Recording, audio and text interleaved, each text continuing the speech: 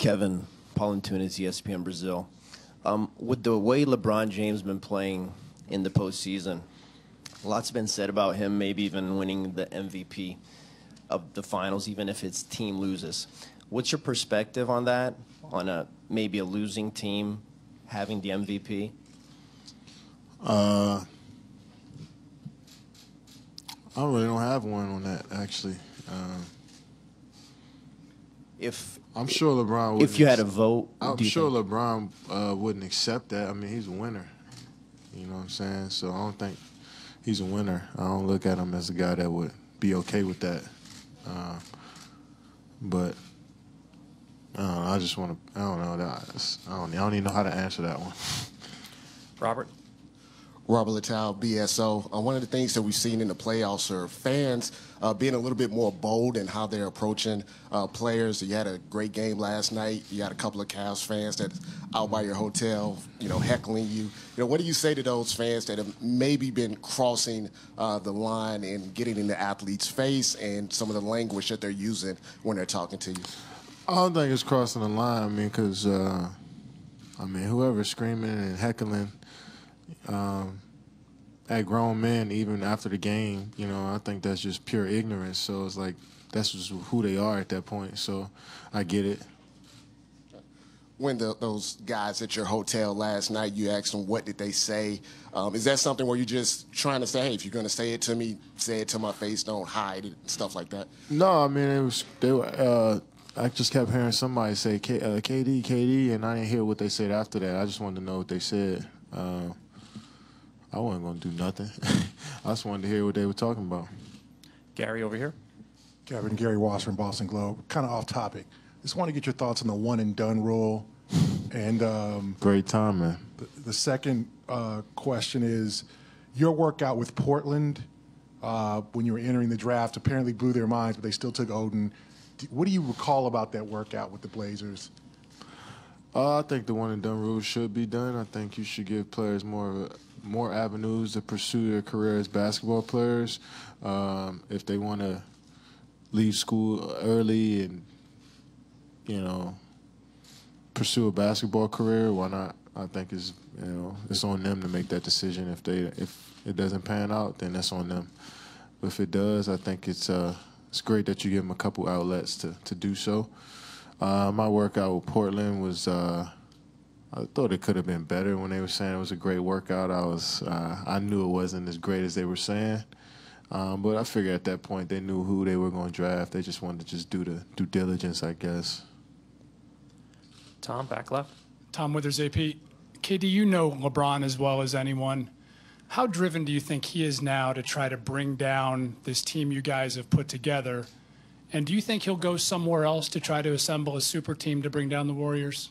I have no clue. I only know LeBron from just who he is. Um, you know, in our up close personal relationship, and we never talk about basketball, so I don't know. Over here on the right. Dan Devine, Yahoo Sports. Um, one of the big topics sort of is going around today is the importance of basketball IQ, the, the ability to think the game at the highest level. Um, obviously that was an important deciding factor when you made your choice about where you wanted to go in free agency. How does that help at a team level in a situation like this when you're in these high pressure moments?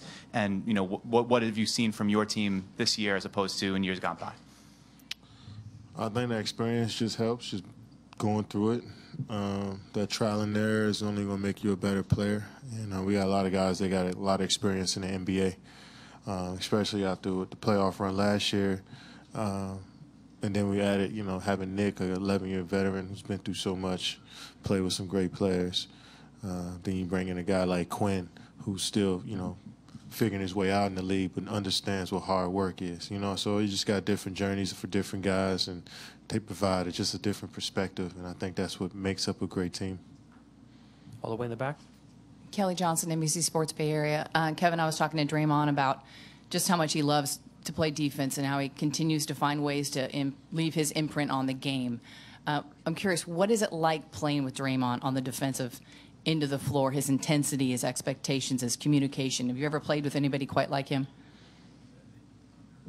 I play with guys with I play again with guys with that same type of intensity, but his talent and feel is different.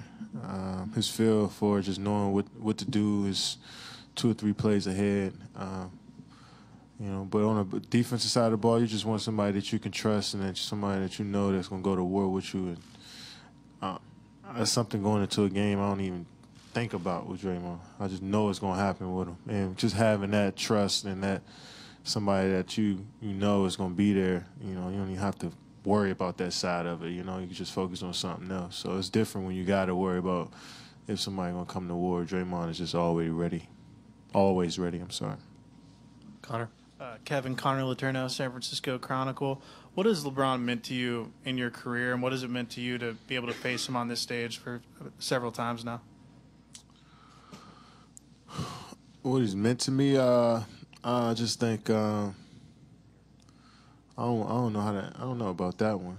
Uh, I think somebody that you can always look at, and you know when you're working out and strive to be better than and strive to kind of go through the same experiences as you know somebody like that you know looked at as one of the top five greatest players to ever play the game and playing in the same era that's rare you know to have a player like that uh, playing at the same time you are. So you watching tendencies movements you watching you know just actions on the basketball court. He talks to teammates You're just watching through from afar.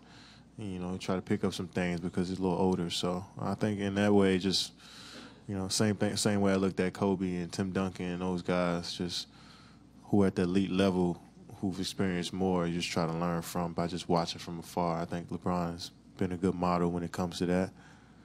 Um, but just being able to play against somebody at the highest stage, the highest level, just brings out the best in both of us. It just makes the games better. Shelley, Shelley towards the back. Shelley Smith from ESPN. In what way is this team more locked in right now than it was last year? It's different, man. I keep telling people, uh,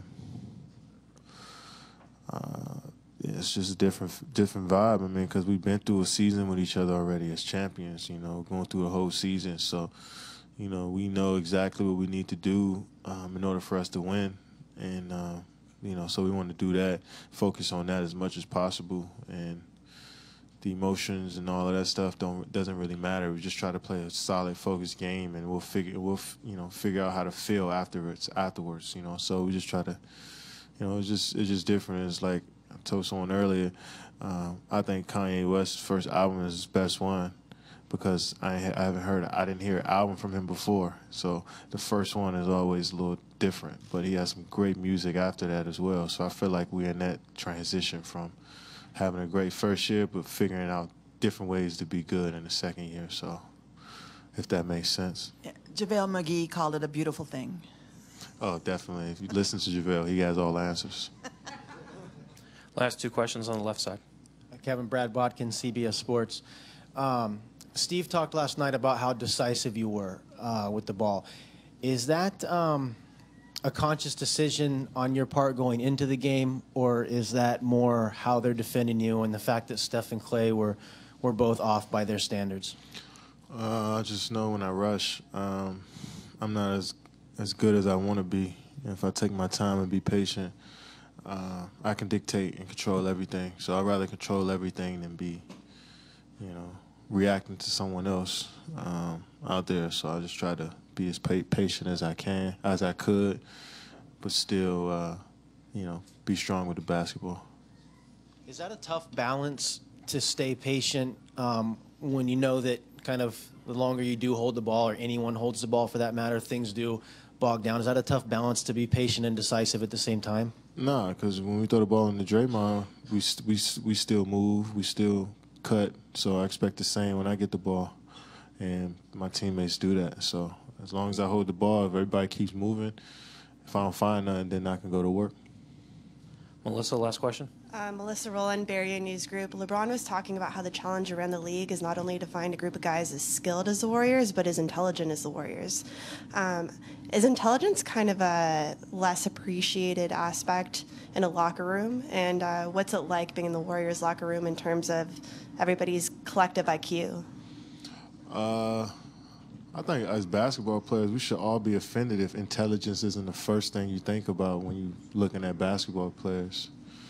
Uh, I compare us to musicians. I compare us to artists, to architects, to surgeons. I compare us to the highest at any field because what we do is hard. We're one we're one percenters in the world. So when you walk into any locker room I ex- in the NBA, I expect you to think that all of these guys are intelligent at what they do, and I think that's a underrated trait from somebody outside of the league, um, from outside of the locker rooms, because they don't realize the, how hard the game is. I think sometimes, but um, you know, it's hard to find intelligence, character.